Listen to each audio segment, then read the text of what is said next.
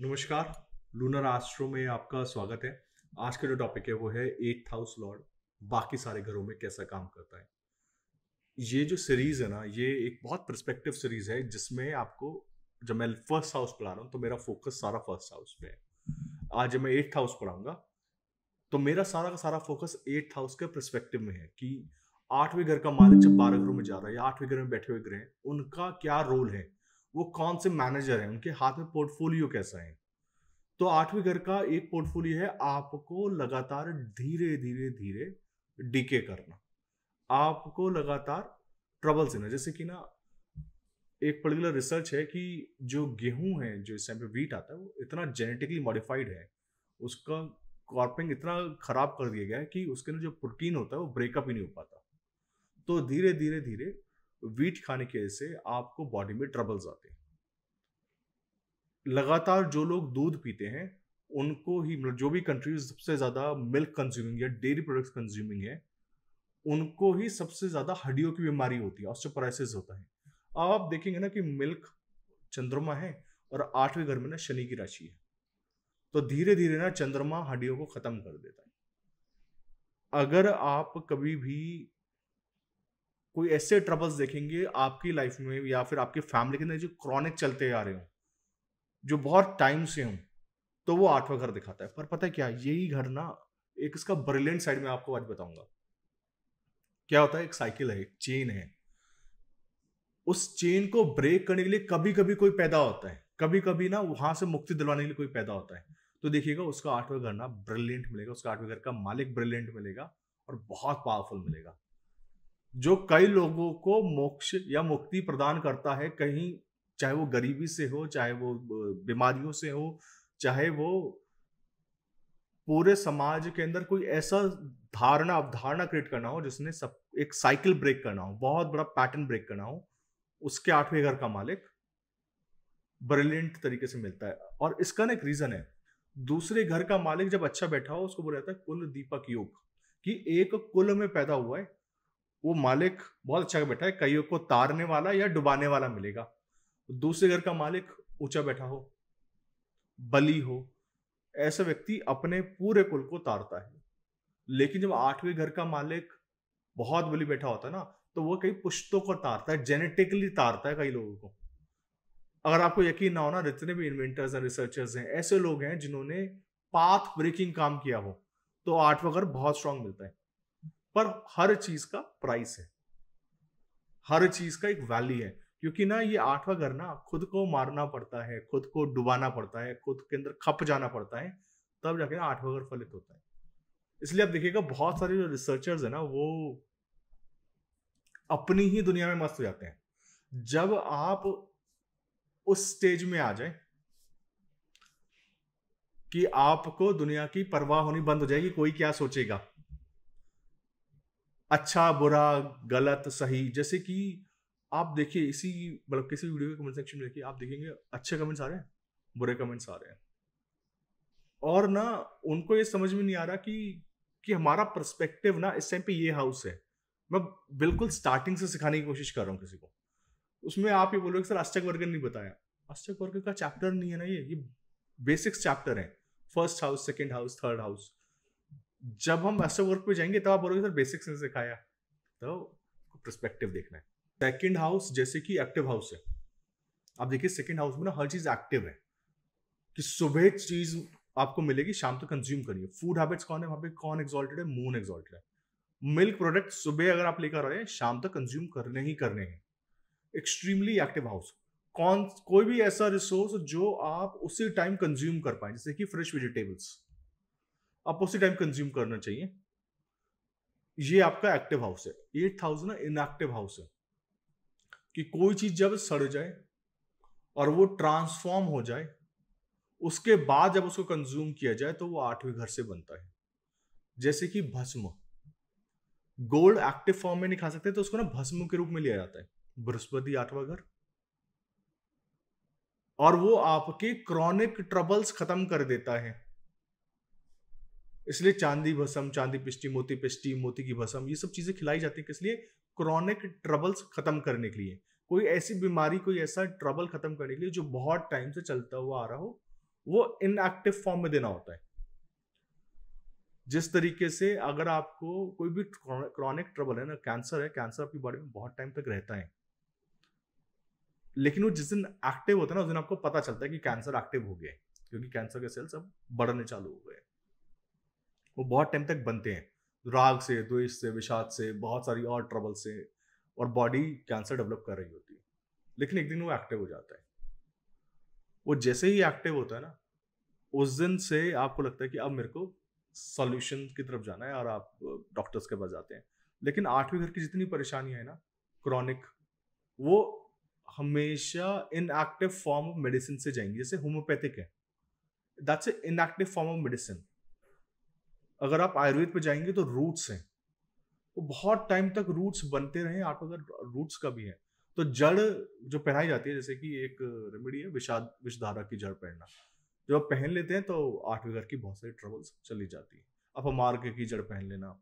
ये सारी की सारी जड़, इसका बहुत सारा अच्छा ब्लॉग्स हैं वेबसाइट के ऊपर, और मैंने बहुत बार और वीडियोस में भी बताया है कि आठवें घर की रेमेडीज के जो वीडियोस हैं, वो आपको लिंक के डिस्क्रिप्शन में मिल जाएँगे या वीडियो के एंड में भी आएँगे। आप देखिए उन वीडियोज़ को। आठवें घर ना इनएक्टिव हाउस है। तो जड़ अगर आप पहनते हैं, जड़ खाते हैं या फिर उसका आसप बन जाता है या सिरप बन जाता है, उनसे वो ज़्यादा अच्छे तरीके से ठीक हो सकते हैं बजाय कि मेडिकल ट्रीटमेंट के मॉडर्न मेडिसिन के। आठवां घर क्रॉनिक ट्रबल्स को रिप्रेजेंट करता है। आठवां घर दुआओं और बदुआओं को रिप्रेजेंट करता है। जो कि आपको क्रॉनिकली मिल रही हैं। तो अगर आठवें घर में अच्छे प्लांट्स नहीं बैठे हैं बेनिफिट्स नहीं बैठे हैं, या कोई ऐसा ग्रह नहीं बैठा है जो आपको सपोर्ट कर पाए, या फिर वो पाप कतरी योग में है, जैसे कि एक तरफ़ मंगल है, एक तरफ़ केतु है, सातवें घर में मंगल आ जाए नौवे घर में केतु आ जाए हेम्ड हो जाए वो घर। तो समझ लीजिएगा, ऐसा व्यक्ति ना सब कॉन्शियसली या अपनी क्रॉनिक ट्रबल्स को रिजॉल्व नहीं कर पाएगा। पर यही घर ना ताकतवर, जैसे आइंस्टाइन का घर है, आठवा घर है। उसने एक पूरी जनरेशन को तार दिया इलेक्ट्रिसिटी देके, अपनी थ्योरीज देके। तो कई लोग जो पूरे का पूरा सिस्टम फॉर्मेट चेंज करते हैं, उनका आठवां घर बहुत मज़बूत मिलता है। तो बुरा घर नहीं है, ये धारणा ही गलत है कि ये बुरा घर है। इसके अंदर ना सिर्फ़ और सिर्फ़ एक ऐसा प्लानट है, जो आपको बहुत मदद कर सकता है, वो है ब्लेसिंग्स गुरु। क्योंकि जब इसमें गुरु आ जाता है ना, इसका मतलब ये है कि आपके पास ना हमेशा कोई ना कोई व्यक्ति रहेगा जो आपका हाथ पकड़ेगा और आपको बोलेगा कि मैं आपकी मदद करने आया हूँ। और मैं इसके डीपर मीनिंग्स पे भी अभी जाऊँगा। लेकिन ना, आठवें घर के अंदर अगर ट्रबल्स हो रही हैं, आपको क्रॉनिक इश्यूज़ आ रहे हैं, आप देखिए कि सूर्य ना राजा है। ये घर अपयश का घर है। ये घर देश से निकालने का घर है। क्लासिकल टेस्ट होते देश से निकाले जाने का घर। विस्थापित होने का घर, किसी दूसरी दुनिया में जाने का घर टैक्सेशन में जो वो पेनल्टीज पड़ती हैं, उनका घर है ये। हर वो घर है जो कि कोई नहीं करना चाहता। सूर्य जो है ना, पाँचवें घर से प्रेजेंट करता है। और सूर्य क्या करता है? सूर्य ने सबको कंट्रोल करता है। सूर्य बोलता है कि कौन सा ग्रह, कौन सी गति पे कितने प्रेशर में घूमेगा, किस एटमॉस्फेरिक लाइन पे घूमेगा, वो मैं डिसाइड करूँगा। रेट्रोग्रेड कब होगा? सूर्य डिसाइड करता है कि सूर्य से पाँच का दूर जाओगे तो रेट्रोग्रेड करना है, या इतने डिग्री दूर जाओगे तो रेट्रोग्रेड करूँगा। सूर्य डिसाइड करता है। सूर्य ही पूरे सोलर सिस्टम को काबू में रखता है। लेकिन ना कभी कभी क्या होता है, कोई एक व्यक्ति पैदा होता है जो एक चेन ब्रेक करता है। कोई एक सोल होता है जो लिबरेट होता है। वो कहता है, मैं ये नौ ग्रहों के अंदर नहीं काम करता। मैं इस पैरामीटर से मुक्त होना चाहता हूँ। तो वो क्या करता है कि वो व्यक्ति के अंदर इतना एनर्जी मिल जाता है। जब किसी तारे के अंदर इतना एनर्जी मिल जाए कि वो ट्रैवल करने लग जाए, ध्यान रखिएगा, इतना एनर्जी मिल जाए जो ट्रैवल करने लग जाए। उसके अंदर इतनी गैसेस फॉर्म हो जाए, बहुत सिंपलेस्ट फॉर्म में तो उसको धूम केतु कहा जाता है। आठवां घर केतु का है, क्योंकि वो सोलर सिस्टम्स के पाथ ब्रेक करके जा रहा होता है। उसी तरीके से आपके चार्ट में आठवें घर की जब भी दशा आती है पाथ ब्रेकिंग काम किए जाते हैं। लगन की दशा आएगी आप कुछ ना कुछ नया चालू करेंगे।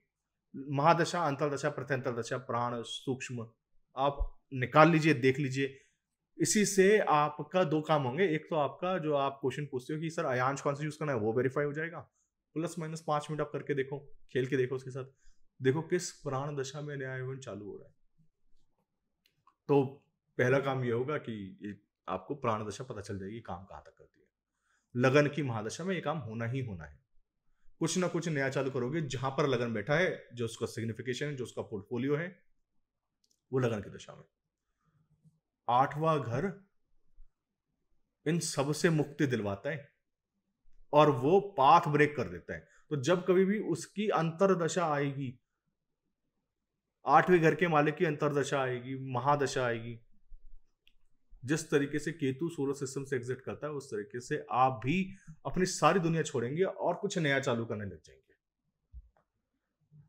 या तो बहुत खुश होकर करेंगे, अब इसमें दोनों चीज़ें हैं, ना? या तो बहुत खुश होकर करेंगे, अगर उसके अंदर ताकत है, एनर्जी है, और अगर इसमें ताकत नहीं है, एनर्जी नहीं है तो सिर्फ़ ये फ्रस्ट्रेशन होगा, दिमाग में आएगा, सपने में आएगा, और आप ना कुड़ के कुड़ते रहेंगे अंदर अंदर की, और ये आठवां करना इसलिए ऐसी उलझन देता है। आपको पता है जब किसी भी आप आश्रम में जाते हैं और मैं एक पर्टिकुलर ट्रिप अभी हम लोग प्लान कर रहे हैं, जो तीन दिन का एक मेडिटेशन कैंप है, वो नवंबर में है तो अभी से इसके एप्लीकेशन मत दीजिएगा। नवंबर के अंदर वो उसका प्लानिंग है, बहुत बड़ा मेडिटेशन कैंप है।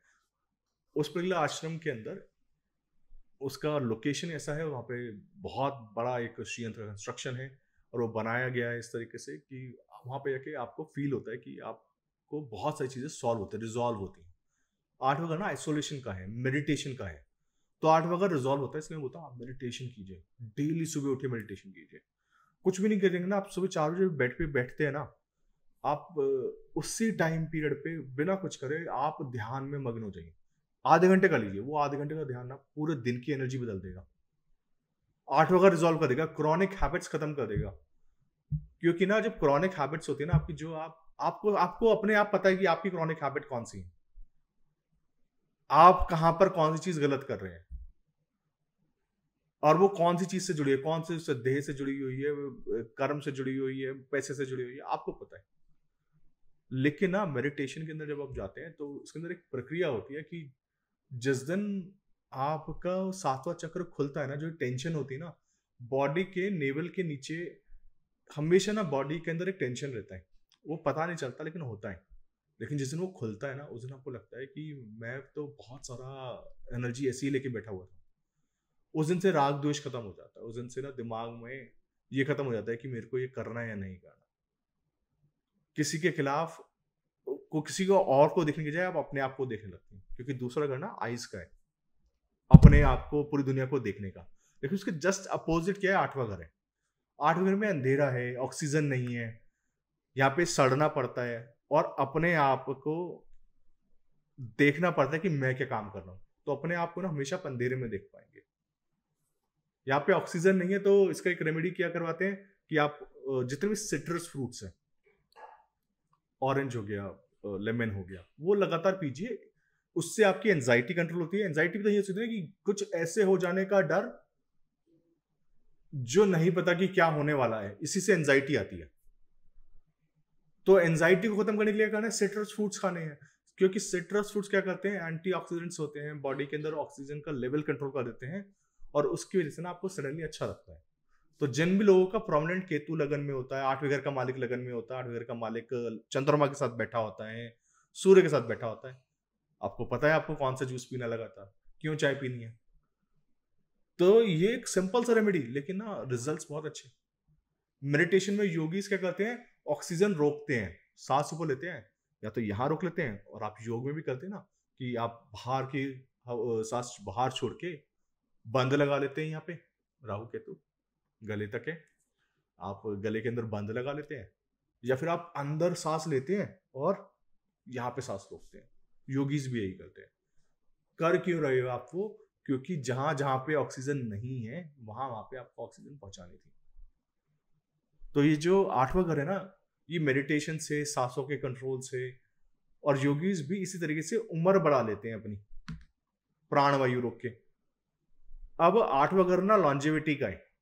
आयु डिसाइड होती है कि आप सांस कैसे लेते हो। नक्षत्र क्या कंट्रोल करते हैं? वायु। आपके सांस लेने का पैटर्न कैसा है? वो आपका नक्षत्र बताता है। उसी से आपकी आयु डिसाइड होती है।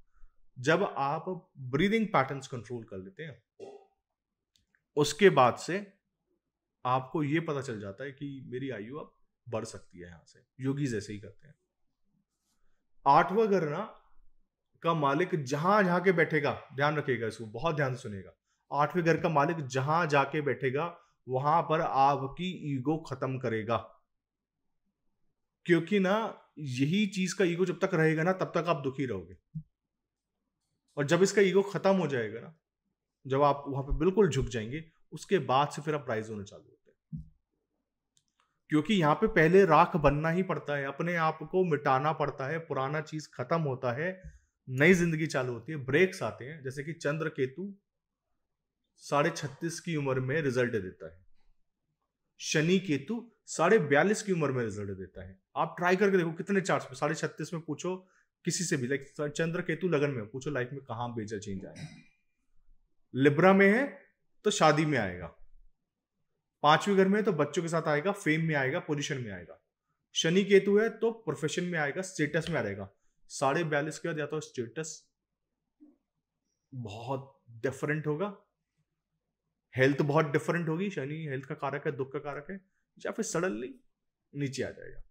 डिपेंडिंग कि उस धूम केतु को जो कि केतु आपको जो आठवां घर है ना, धूम केतु की तरह समझिए उसको। उस धूम केतु को उतनी ताकत मिली है उस ग्रह से कि वो सोलर सिस्टम से एग्जिट कर पाए या फिर नहीं मिली है। इसलिए आठवें घर का मज़बूत होना बहुत ज़रूरी है। आठवें घर का मालिक, अगर इसको, इस को बहुत से सुनना, कि आठवें घर का मालिक अगर किसी ऐसे ग्रह के साथ बैठे जो कि स्वराशि हो उच्च हो, या फिर ऐसा हो कि, क्योंकि आठवीं घर की ना अपने आप नहीं चलती, ध्यान रखिएगा, दो, बारह और आठ, इनकी ना अपने आप नहीं चलेगी। ये हमेशा किसी और का रिज़ल्ट दे रहे होते हैं। अगर आठवें घर का मालिक किसी ऐसे ग्रह के साथ बैठता है जो कि स्वराशि हो, अपने घर में हो, उच्च का हो, दिग्बली हो तो ये बहुत ताकतवर आठवां घर है। आठवें घर के का पैटर्न्स ब्रेक करना इनकी हैबिट बन जाती है। आठवें घर में उच्च का ग्रह मिल जाए, बहुत अच्छा। लाइक, अगर यहाँ पे ना बृहस्पति उच्च का है आठवें घर में, आप ऐसे घर में पैदा हुए जो बहुत ज़्यादा रेप्यूटेड है, जिसकी समाज में बहुत इज़्ज़त मिलेगी आपको। अगर आप राहु उच्च के साथ पैदा हुए हो ग्रैंडफादर के जमाने से इज़्ज़त मिलेगी, बहुत प्रोमिनेंट हाउस के साथ पैदा हुए मान लीजिए कोई बच्चा पैदा हुआ, उसका उसका ना कोई भी प्लांट आठवें घर में और आठवें घर की दशा में पैदा हो गया है। इसके पैदा होने के बाद से फैमिली ऊपर उठना चालू हो जाती है। अगर ये प्लानिट अफ्लेक्टेड ना हो तो। तो ये जो आठवां घर है ना, ये इतना ब्रिलियंट घर है कि आपको सारे बंधन से मुक्ति देने का काम करता है। और जो लोग आपको सबसे ज़्यादा फ्रस्ट्रेटेड मिलेंगे ना लाइफ में, उनका देख लीजिएगा, आठवां घर ना, उनके सपने जो है ना, वो जहाँ से मुक्ति होना चाहते हैं ना, मुक्ति नहीं हो पाते। आठवें घर का मालिक छठे घर में बैठा हो, लेकिन मज़बूत हो, ताकतवर हो, अच्छे ग्रह के साथ बैठा हो। काम कर पाए अपना. लाइक मंगल केतु ना बन जाए. मतलब अपोजिट प्लांट्स ना बने, सूर्य शनि ना बने. काम करने उसको फ्री हैंड मिल जाए. आपको ना छठे सारे एनिमीज को चुन चुन के मारता है, उसके पास ना स्पेशलिटी है उसको मारना. छठे घर के अंदर बीमारियों को खत्म करना. आठवें घर का मालिक दूसरे घर में बैठा है. अच्छा मैं सारे घरों का एक साथ बताऊँगा अभी फिर. क्योंकि मैं बीच में बताऊँगा तो फिर आप बोलेंगे कि सीक्वेंस नहीं है. आठवें घर का मालिक लगन में है। तो अभी जो अंधेरे का मालिक है ना, वो प्रकाश में आ रहा। आप देखो, तीन ग्रह जो इसको अच्छा नहीं समझते। तीन घर जहाँ पर इसकी नहीं चलती। अंधेरे को ना हमेशा उजाले से लगता है। पहला घर कहाँ पे? जहाँ से सन राइज हो रहा था उस टाइम पे। ईस्टर्न हराइजन यहाँ नहीं बनेगी। पांचवा घर जो सूर्य का अपना घर है, वहाँ नहीं बनेगी। नाइन्थ हाउस जहाँ पे गुरु है, जो ज्ञान देता है, जो हमेशा अंधकार से, तिमिर से प्रकाश की ओर ले जाता है वो गुरु का घर यहाँ पे नहीं बनती। आठवें घर का मालिक लगन में बैठा हो, उजाले का घर है।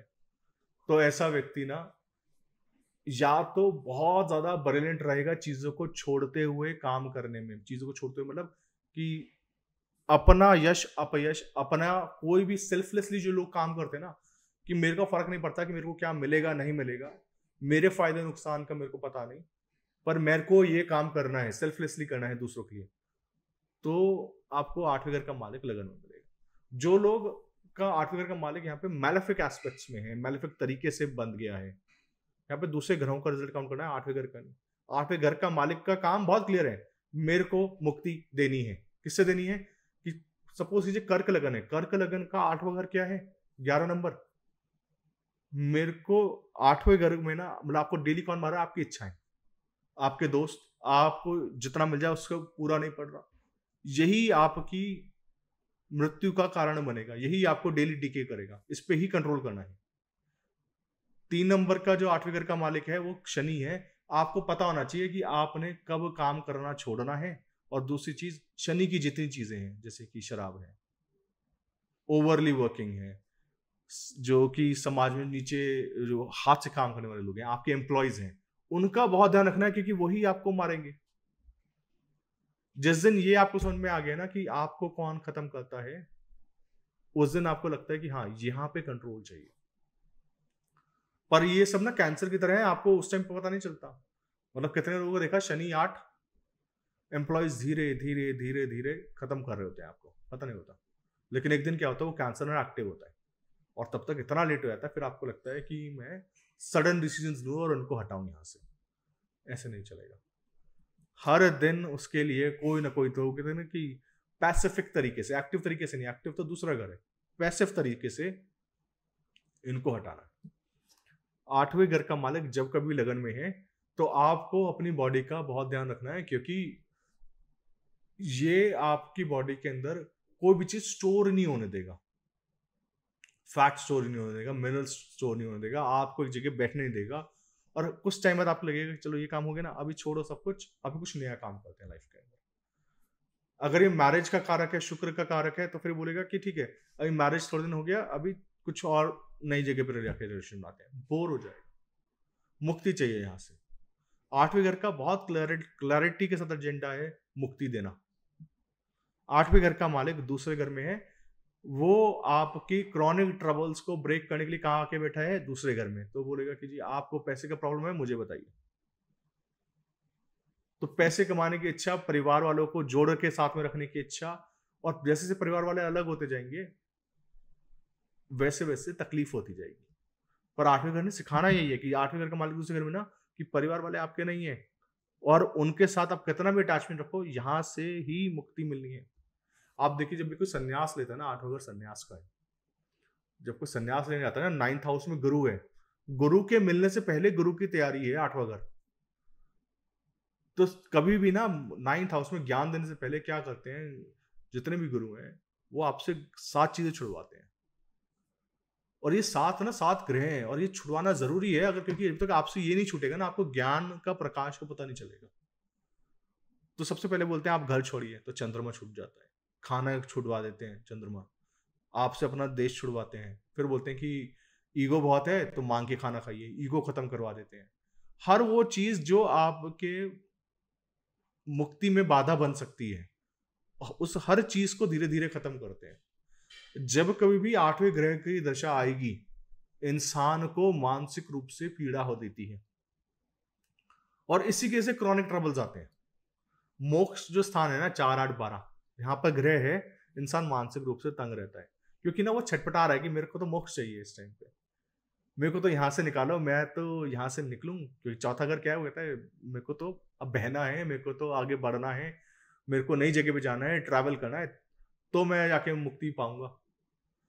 पर आठवां घर जब तक नहीं आएगा, आठवां घर कहता है कि जी मेरे को तो जितनी भी चीज़ें आपने बना लिया ठीक है, मेरे को सब कुछ भसम करनी है और यहाँ से मुक्ति चाहिए। आठवें घर का मालिक दूसरे घर में परिवार से मुक्ति दिलवाने के पूरे संतुष्टि, पूरी पूरी तैयारी करवाएगा, लड़ाइयाँ करवाएगा। उसके बाद जाके ना आपको समझ में आएगा कि ना पैसा आपके काम आता है, ना परिवार आपके काम आता है। कुछ और चीज़ है जो इन सबको छोड़ के जब आप जाएँगे तो आपको ना मुक्ति का एहसास होगा। आपको सही में लगेगा, यार, मेरे को मुक्ति मिली है। सूर्य केतु साढ़े पैंतीस साल में उम्र देते हैं। आप देखिए, जैसे ही फादर जाते हैं ना, उस साल में या ईगो चले जाता है या पोजिशन चली जाती है। इंसान ना वो जाने के बोलता है जो समझदार हैं वो ये बोलते हैं कि अच्छा ये पोस्ट छूटी, ये ज़िम्मेदारी छूटी तो मैं ना सुकून से बैठ सकता हूँ। मैं मुक्त हो गया। अब मैं बहुत अच्छी तरफ़ तरफ़ जा रहा हूँ। अगर यही जो है ना, व्यक्ति को समझ में नहीं आए कोई बताने वाला नहीं हो, यार ये होना था और ये अच्छे के लिए हुआ है, क्योंकि अब आप बदली होके जाओगे ना, कहीं और चले जाओगे या कोई और नया काम करोगे, नया बिज़नेस करोगे, वो आपको बहुत सुकून देगा। तो इस चीज़ें जाने से वो परेशान नहीं होते। आठवें घर का मालिक तीसरे घर में नाम छूटेगा क्रेडिट नहीं मिलेगा, आपके जितने भी टैलेंट हैं, आप बहुत टैलेंटेड होंगे एक काम में, वो बिल्कुल खत्म हो जाएगा उस साल, जब ये दशा आएगी। और ये जो आठवें घर का मालिक जब तीसरे घर में है ना, ये इकतालीस साल की उम्र में फलित होता है। उस टाइम पे आपको लगेगा कि अच्छा हुआ, ये छूट गया ना, अभी मैं ढंग से कुछ काम कर सकता अब मैं कुछ पाथ ब्रेकिंग कर सकता हूँ। अब मैं वो बंधन टूट गया तीसरे घर का। आठवें घर का मालिक जब कभी चौथे घर में आता है, ऐसे व्यक्ति को घर छोड़ना पड़ता है। घर नहीं छोड़ोगे, तीस साल की उम्र के बाद अगर आपने घर नहीं छोड़ा, आपको ना सुकून मिलेगा, ना यश मिलेगा, ना हेल्थ मिलेगा। आप बंद के रह जाओगे उस घर के अंदर, जब तक आठवें घर का मालिक चौथे घर में बैठा है। ये ये भी दिखाता है कि आपका जो दुआएँ और बदुआएँ लैंड से रिलेटेड हैं घर से रिलेटेड है, बहुत ध्यान से काम करना है, घर लैंड से रिलेटेड आठवें घर का मालिक तीसरे घर में है, किसी को झूठी खबर नहीं देनी। क्योंकि ये प्रोमिनेंट हैबिट है आठवें घर में तीसरे घर की। झूठी हैबिट झूठी या बुरी न्यूज़ नहीं देना। किसी से कोई इंफॉर्मेशन छुपा लेनी, जो किसी के काम की हो। आपको नॉलेज है शेयर नहीं करिए आपने। ये आठवें घर का मालिक तीसरे घर में आठवें घर का मालिक जब कभी पाँचवें घर में है तो ऐसे व्यक्ति ना आठवें घर की एक बहुत स्पेशल चीज़ है कि आठवां घर ना आपको बाल की खान निकालने की कैपेबिलिटीज देता है। वो इतना सेंसिटिवली सोच सकता है और ये ब्रिलियंट कॉम्बिनेशन बनता है स्टॉक मार्केट ट्रेडर्स के लिए स्पेकुलेशन वालों के लिए एस्ट्रोलॉजर्स के लिए और लगातार सोचने के लिए। मैं और क्या सोच सकता हूँ? आउट ऑफ़ द बॉक्स में कैसे, ना आउट ऑफ़ द बॉक्स सोचना है। आउट ऑफ़ द बॉक्स में कैसे सोच सकता हूँ? आठवें घर का मालिक पाँचवें घर में आता है। अच्छा कॉम्बिनेशन है। पर ना वक्र है दिमाग कि दुनिया सोचती है कि मुसीबत के अंदर इस व्यक्ति पे शायद मुसीबत आई होगी, ये व्यक्ति सोचता है अच्छा है सब छूटे हैं। मैं तो और ज़्यादा खुश हो गया। आठ घर का मालिक पाँचवें घर ये व्यक्ति अपने आप को जब इनको लोग बुरा भरा कहते कहते भाई साहब, धन्यवाद। आपको एक आपको अच्छी बात है, आप ये समझ में आ गया कि मैं ही ऐसा हूँ तो अब आपको नहीं आने की ज़रूरत, क्योंकि ना आप अगर आइसोलेशन माँगता है। आप देखिएगा जितने भी अच्छे अच्छे लोग होते हैं ना, जितने अच्छे सेंट्स होते हैं, वो हमेशा बोलते हैं कि मत आओ मेरे पास मेरे पास कुछ नहीं है, क्योंकि भीड़ कम करनी है। आठवें घर का मालिक पाँचवें घर में ना, ऐसा कॉम्बिनेशन है कि वो साढ़े साढ़े तैतीस साल में आके फलित होता है, लेकिन ना, उसका अच्छा रुकता नहीं। उसके बाद ना फिर इनका स्टॉपिंग नहीं इनके फेम का। लेकिन तैतीस तक फेम नहीं मिलेगा। आठवें घर का मालिक छठे घर में हो, मैंने बोला, दुश्मन को निपटा देते हैं। चुन चुन के मारना हो, पूरे कुल के अंदर जितनी बीमारियाँ हो, सबको बोलता है कि इसको ऐसे ठीक करना है। जी, मैं दवाई दे के आता हूँ, मैं वैद करता हूँ। डॉक्टर्स के लिए मतलब ऐसे ना जितने भी अच्छे डॉक्टर्स देखे मैंने मतलब जिनके हाथ में जादू है, जिनको लोग बोलते हैं कि कार्डियोलॉजिस्ट बहुत अच्छे हैं, ये वैद बहुत अच्छे हैं। अभी एक रिसेंटली हमारे पास ना फीडबैक है ऑटिज्म का। हमारे डॉक्टर पंकज का। एक साल तक मेहनत करी दोनों टीम्स ने एस्ट्रोलॉजर्स ने भी और डॉक्टर पंकज ने भी। उन्होंने सब कुछ छोड़ दिया वो फिजियोथेरेपी छोड़ दिया और वो जो साइकोलॉजिस्ट के पास जाते हैं वो छोड़ दिया। ऑटिज्म वाले बच्चों के लिए बहुत सारे जो कर थी वो छोड़ दिया। उसके बाद उन्होंने रिकॉर्ड करके भेजा पंद्रह साल बाद उनका बच्चा बोला पहली बार। एक साल का ट्रीटमेंट है। पंद्रह साल बाद पहली बार बच्चा बोला है। उस मैंने वो फीडबैक देखा मैंने पढ़ा मैंने बोला ब्रिलियंट हाँ, है ये। एक भी बच्चा का अगर फीडबैक आ रहा है ना मेरे को कि ये बच्चा बोला पंद्रह साल में इट्स ब्रिलियंट पता नहीं कितने ऐसे फीडबैक्स आते हैं। लेवर लिवर स्टेज थ्री पे है एक पर्टिकुलर डिज़ीज़ के अंदर, जिसके अंदर डॉक्टर से बोला, ये नहीं होगा ठीक। वो नेचुरली क्योर हो गया। छह महीने लगे लगातार उस लीवर वाले डिज़ीज़ के अंदर। तो योग तंत्र में ना बता रहा हूँ जब एस्ट्रोलॉजी और योग तंत्र मिलता है ना और इसके लिए ना हमने उसको फ्री कर रखा है। मतलब एस्ट्रोलॉजिकल जो उसका मेडिकल कंसल्टेशन है, जो आयुर्वेदिक कंसल्टेशन है, वो फ्री है। उसका लिंक आप वेबसाइट पे आप जाइए डिस्क्रिप्शन में है। वो फ्री ऑफ़ कॉस्ट हम प्रोवाइड करते हैं सबको। ताकि ना एटलीस्ट अगर कोई अफोर्ड नहीं कर सकता, अब उसके अंदर ना देर आर टू वेज हमेशा मैं बोलता हूँ कि मेरी टीम ने मेरे को बोला, सर, ये बहुत लोड हो रहा है। लोग फ्री में ना सिर्फ़ ऐसे ही दिखाने आ रहे हैं और जबकि वो अफोर्ड कर सकते हैं। तब भी मैं बोलता हूँ कि आप करिए। कोई बात नहीं। क्योंकि ना, आपको वो मैजिक दिखना चाहिए आयुर्वेद का। तो वो जो अफोर्ड नहीं कर सकता, उसके लिए फ्री है। और और कोई दवाइयाँ भी अफोर्ड नहीं कर सकता, क्योंकि कोई बोल सकता ना, हमारे पास दवाई नहीं है नहीं अफोर्ड कर सकता। कोई worry no worries we will afford it लेकिन ना योग तंत्र इतना पावरफुल टूल है, जब ज्योतिष और आयुर्वेद मिलता है, वो रिजल्ट्स देते हैं। टाइम लगता है पर देते हैं। आठवें घर का मालिक जब कभी छठे घर में है ऐसे लोग बनते हैं, ऐसे डॉक्टर्स बनते हैं, ऐसे सर्जन बनते हैं वॉरियर्स बनते हैं, जो पाथ ब्रेकिंग काम कर रहे होते हैं। आज की डेट में मतलब उन्होंने, मैं जब लगातार मेडिकल एस्ट्रोलॉजी पढ़ रहा हूँ और मैं उनसे सीख रहा हूँ कि प्रोटीन किस तरीके से डाइजेस्ट होता है शुगर क्या करता है मैग्नीशियम क्या करता है ऑस्टोप्राइसिस कैसे होता है, ये सारी चीज़ें इसलिए सीखनी पड़ रही हैं क्योंकि उनकी वजह से वो केस स्टडीज़ जब आती हैं उसकी वजह से ना वो बहुत सी चीज़ें आपको पढ़नी पड़ती हैं कि कौन सा कंपोनेंट क्या काम कर रहा है। तो अब से आपको एस्ट्रोलॉजी में हेल्प मिलेगा। एट्थ लॉर्ड जब सेवेंथ हाउस में जाता है तो ना अब ये मैरिज का घर है, संधि करने का घर है। आठ वगैरह आइसोलेशन है। आठवा कहता है कि मेरे को तो अकेला रहना है। ऐसा व्यक्ति ना स्पाउस को साथ रखने में बहुत हिचकिचाता है। आठवें घर का मालिक सातवें घर में है और इसमें अगर रिफ्लेक्शन आ जाए तो सेक्सुअल प्रॉब्लम सकता है। ऐसे व्यक्तियों को ना, जिसको बोलते हैं ना, अब यही एक ऐसा कॉम्बिनेशन जिसका मैं बोलता हूँ कार्मिक पार्टनर्स या सोल पार्टनर्स मिलते हैं, जिसको बोलते हैं ट्विन फ्लेम सोल पार्टनर्स वो इसी में मिलते हैं, क्योंकि आपका वो क्रॉनिक प्रॉब्लम या वो है, वो सातवें घर से आ रहा है। वो स्पाउस के थ्रू ही हल होगा या स्पाउस की वजह से हल होगा, शादी के बाद ना सडनली एक्टिवेट हो जाता है। तो अब देखिएगा, आठवीं घर का मालिक अगर सातवें घर में है, और लिंक बना ले, और कर्क लगन वालों के लिए तो ये नेचुरली लिंक बन गया, सात और आठ। तो शादी का या तो राइज है इसी से पता चल जाता है, शादी का या तो एक्सट्रीम राइज करेगा एक्सट्रीम डाउनफॉल पे लेके आएगा। मेजर चेंजेस आफ्टर मैरिज आठवें घर का मालिक सातवें घर में। आठवें घर का मालिक आठवें घर में हो स्ट्रांग बैठा हो, ये अच्छा कॉम्बिनेशन है। ऐसे व्यक्ति ना बहुत डीप थिंकर्स मेडिटेशन वाले लोग। और ये लोग प्रॉब्लम्स हैंडल करने में बहुत उस्ताद होते हैं। मतलब इनको ना प्रॉब्लम्स लाइफ में कितने भी आए, ये कभी भी ना घबराते नहीं।